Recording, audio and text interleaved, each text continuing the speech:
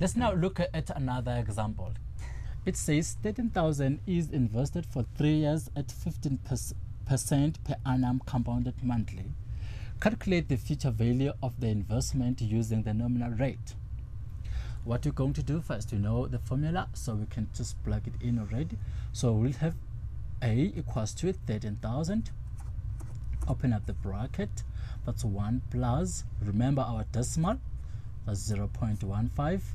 Divide by what? divide by 12 because you're getting interest 12 times a year to the power of? Very very important. People listen to me carefully. What let me just stop this at the moment.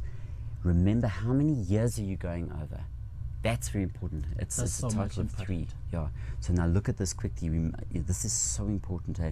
um, you're going over three years but it's monthly. Exactly. so so 12 times 3 gives the 36 I tell you guys, that is so important. 36, very, very important. Okay. So let's see what we get if we have this. We can automatically use our calculator and it give us an answer. So that will be 20331.27. Great, great. Okay, that was wonderful. I think so that they can see how the nominal, very important, of course, the 15% per annum is not going to give you that same amount. It's the compounding that actually does that.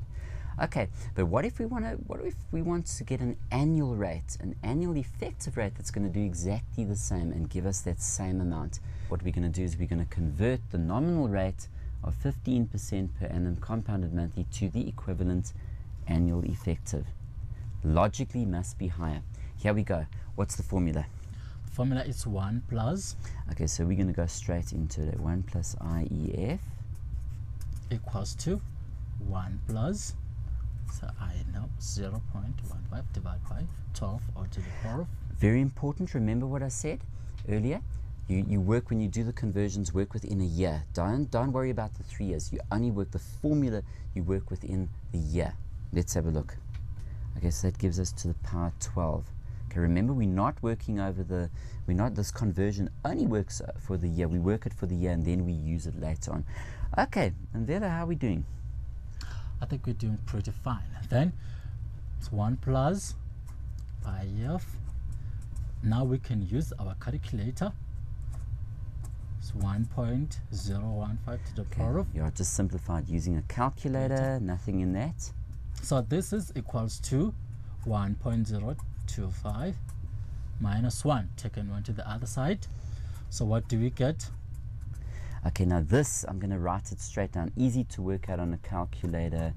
Now, also, guys, what you need to do, um, let me just write this down, then I'm going to chat to you. 1607, and then it's 54517. Just something very, very important. Work with the whole decimal. Don't, don't round off here, especially in calculations, because you, otherwise, you know, your teachers always said that, you know, remember how we, we teach this? Exactly. You, you're not going to get a maximum accuracy if you don't. So always work with a full decimal. It, it gives you a far better answer. And you don't want to deprive yourself of money. Hey, yeah, okay, look exactly. at this. So that's the conversion to the, the um, annual effective. Notice higher than the 15%, doing the same thing. Okay, nominal 15 percent and then your, your, your annual effective is now slightly higher. Okay, last thing, um, let's, let's do the same. Should we have a look at what happens now if we, if we now use the annual effective rate over a period of three years rather than the 36 months. Okay, should we talk? Do you want to help me on this one? We'll now use the, the annual effective rate to show that the same accumulated amount will be obtained as when using the monthly rate. So let's go to the formula. 13,000. Okay, Open now bracket. 1 plus, now we take that whole decimal. Okay, exactly. 1 Notice how we definitely use the full decimal for maximum accuracy and we raise that now. Be very careful people. What are we going to do? Is it 36 or 3? Okay, remember annual is 3 years, eh? so it's going to go 3. But the compounded monthly produces 36 months over the 3 years. Okay, here we go. So that's definitely going to be over 3 years. That's so important there. And watch this. This is the magic it gives you eggs you can actually check this if at home Look at that, exactly the same. Same amount. That's so interesting. Exactly the same amount. Yeah. Right, guys, can you pause the DVD? It's a beautiful activity. Have a bash at that, and we'll see you in a minute.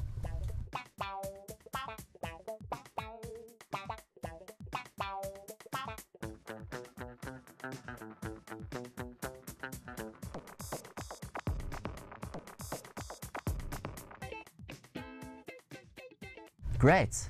Magical exercise, hey? I hope you really understand nominal and effective rates.